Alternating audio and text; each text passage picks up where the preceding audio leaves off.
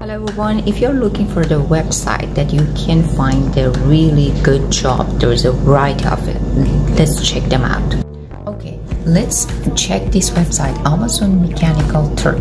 When you go here, you should go all the way down, scroll down to uh, check this part, careers. And when you click on it, you jump to this page.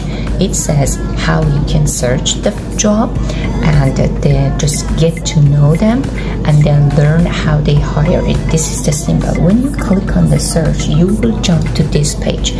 You have a, um, a filter. You can choose it by um, country, state, job category and more and as you see I chose work from home and there is plenty of job will appear here based on your um, ability you can choose um, from this part and then start to work with them.